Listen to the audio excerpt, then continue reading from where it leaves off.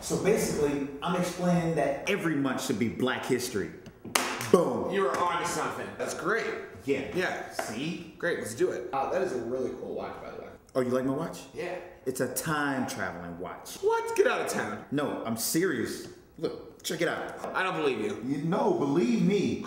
So I can go back to any point in time. Anytime. Hey, but be careful with that. That's my second one. What happened to the first I lost it. Okay. I'm going to 14th century England. I always wanted to see what it was like. I can't go back there. Oh, it's true. Yeah. Okay. All right. All right, here we go. 14th century England. Wish me luck. Damn. Does work.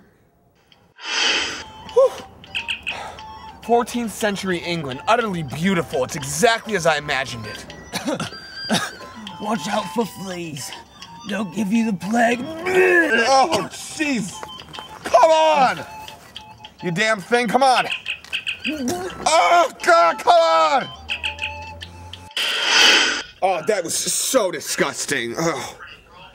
All right, all right. I can do a theater. This is pretty cool, actually. What? Oh, nice little play. Excellent. No vomit. Hey, is that Abraham Lincoln sitting behind us? Oh, Abe Lincoln. Oh.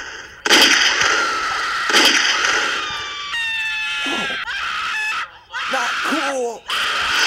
Oh my gosh.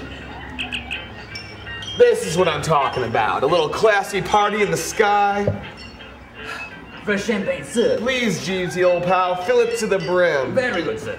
Hey, uh, what vessel do I happen to be on? The Hindenburg.